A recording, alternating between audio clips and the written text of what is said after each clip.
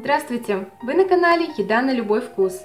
Сегодня готовлю пирог-кекс, нежнейший и очень рассыпчатый, просто тает во рту.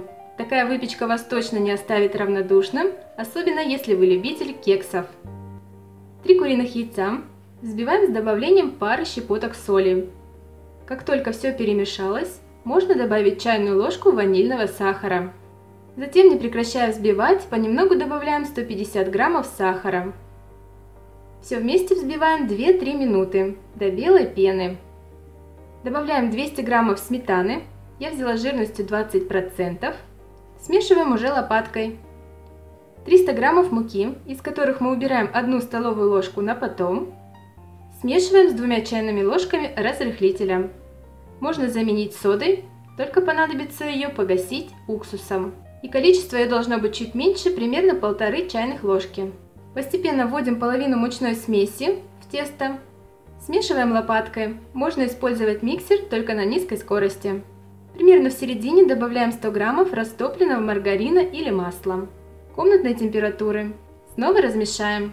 Добавим остальную муку. Соединяем до исчезновения комков.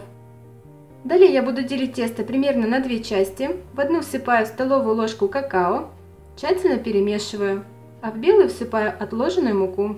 Тоже тщательно размешаю. Далее нам понадобится изюм, предварительно хорошо промытый и высушенный от влаги салфетками. Делю примерно на две части. Добавляю в белое шоколадное тесто. Каждое размешиваю. Можно готовить без изюма. И если вы даже сделаете тесто из одного цвета, то вкус точно не потеряется. В общем, выбор за вами. Форму диаметром 24 сантиметра нужно смазать, непосредственно только дно предварительно которое застелено пергаментом, ну а если силиконовая форма, то смазывать ничего не нужно. Выкладываем хаотично два вида теста с помощью ложек. Здесь уже все зависит от вашей фантазии. Я просто заполняю пространство формы.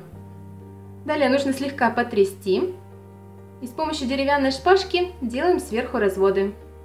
Печем в разогретой до 180 градусов духовке примерно 30-35 минут. Когда середина пирога поднимется, и деревянная палочка будет абсолютно сухой, значит достаем. Даем минут 10 остыть в форме. Получается вкусно? Попробуйте. Кекс действительно тает во рту. Спасибо за просмотр и ваши добрые комментарии. До новых видео. Пока!